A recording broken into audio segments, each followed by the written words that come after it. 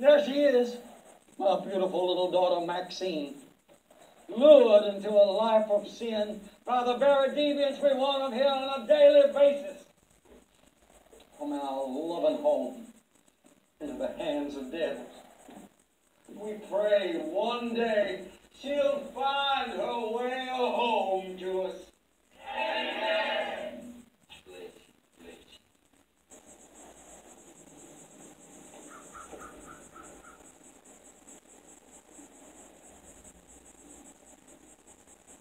What do you reckon happened, Sheriff?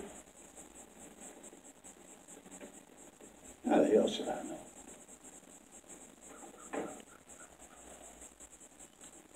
Hey, boss.